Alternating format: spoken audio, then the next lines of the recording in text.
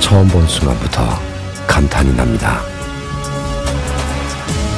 왕국의 공주와 왕관을 가진 용의 사랑 이야기로 시작된 모험이 절대 악을 물리치기 위해 동료들을 모으고 고대 유물에 탑승하여 창조주들과 대항하며 악의 기원을 찾아 머나먼 우주로 나아가는 대서사시가 됩니다.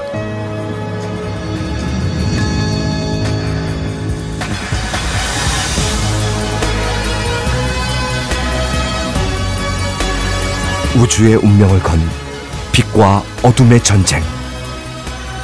이제 시작합니다.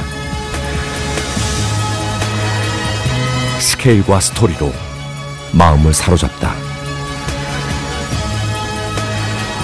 별이 되어라. 우주의 끝에서.